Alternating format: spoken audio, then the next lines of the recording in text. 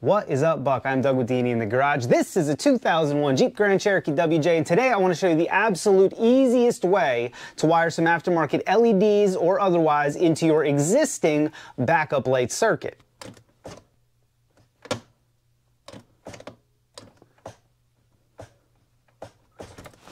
Now this ain't rocket surgery, but we do want to do it in a way that's going to last. So here's your bill of materials. This is what you're going to need. Get yourself some kind of light. I like using these cheap Amazon flush mounts, but you could use literally anything. But the flush mount just has a look. I don't know. I think that's 10 out of 10. And before you go assassinating my character over the condition of my Jeep and the mountain of that light there, a work Jeep, friends. There's beauty in function. And boy, is this thing beautiful in that respect. So figure out what light you're gonna use and then grab some wire between 14 and 18 gauge. This is some 16 is gonna work real nice. You're gonna be matching up against your OEM wiring here, which is probably 18 to 20, so keep that in mind. Then go over to your preferred usual scumbags. I like Advance Auto, and you wanna get the assorted blade connector kit from Dorman for $2.99.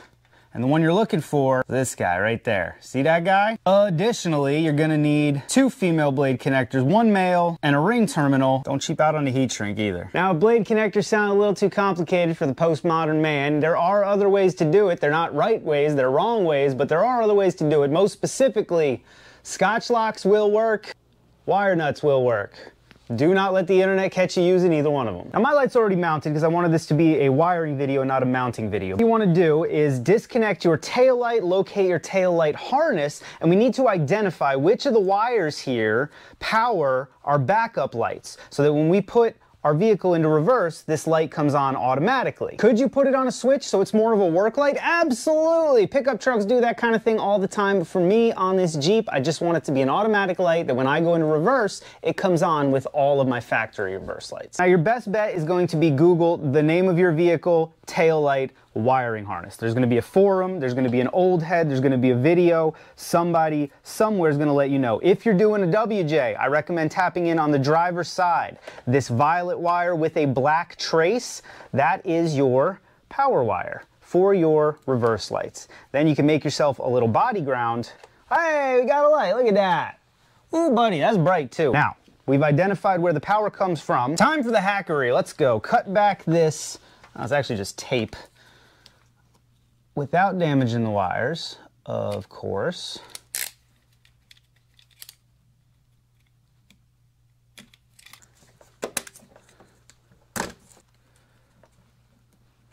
All right, and then let's isolate our purple wire. I think y'all see where we're going. Let's chop that bad boy in half.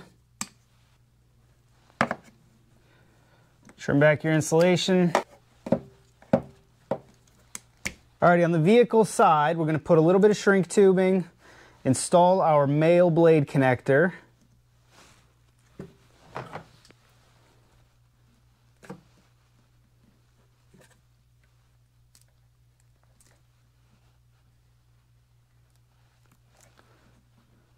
Now, since I'm using shrinkable butt or uh, shrinkable terminal ends, we're actually going to tuck this under there just a little bit.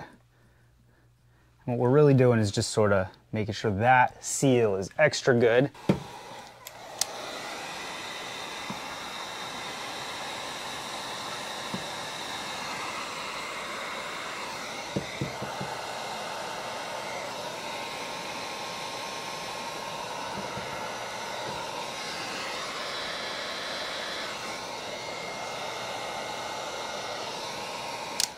Alrighty, same thing on the load side.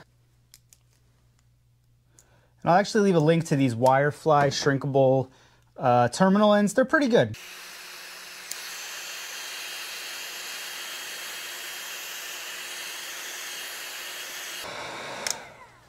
All right, we got our light wires here. We need a piece of shrink tubing and a female blade connector on the power side.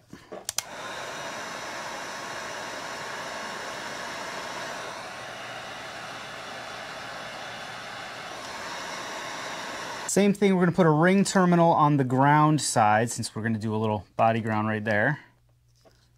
You could absolutely, this uh, plug uses a common ground for all of them. You absolutely could chop into that one, but I like to chop into, I like to do the least amount of chopping into factory harnesses we can.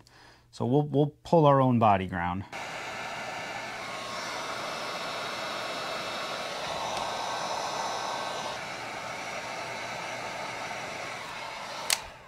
Alrighty. Now, that, like I told you before, this is the key to the whole thing.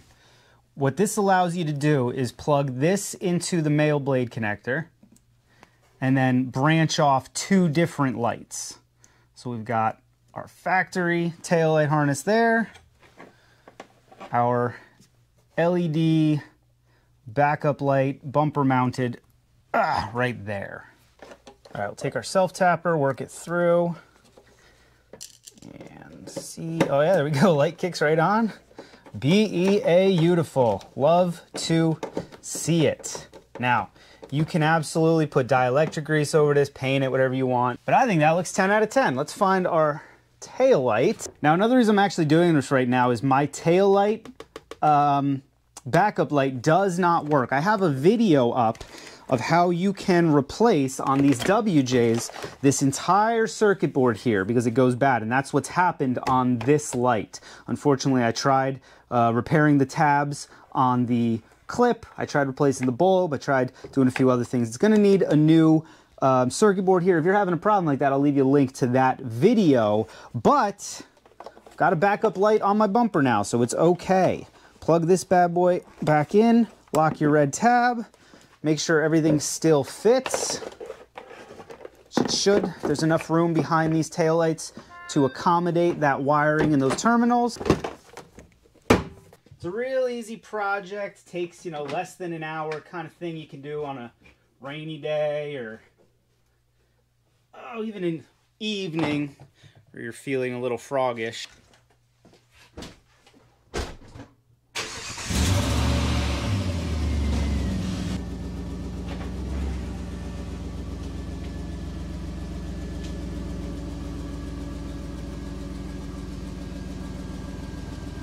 Alrighty friends, that is all there is to it. It's a super easy project, but it adds a lot to the Jeep. That's a plow Jeep. I also tow with it, so having that extra bit of light when I put it in reverse to see what's going on behind me is gonna be absolutely amazing. If you want to do that to your pickup truck or your Jeep, I will leave you links to this Wirefly kit. These are the shrinkable terminal ends. Highly recommend them. Additionally, this Dorman kit of heat shrink is really nice to have on hand. And then the key to the whole thing, the assorted adapters. They're really assorted blade connectors. It's various ways to make more than one thing branch off of a blade connector. Would recommend, I'll leave links down below to all that stuff. I'd love to hear how you guys add backup lights to your vehicle because there are other ways. At some point, I may try to put a switched circuit um, parallel with the uh, existing one so that I can turn it on when the vehicle is not in reverse if I'm doing something behind the vehicle and I just want some light. But that'll be another video. If you got any questions, by all means, leave me a comment down there in the squawk box. Either myself or somebody else in our amazing D&E in the Garage community will get you an answer. I almost guarantee it. If you like the video, like the video, subscribe to the channel. Maybe go check out my website, monkeywithatoolbox.com. Thank you so much for watching. I cannot wait to see you on the next one.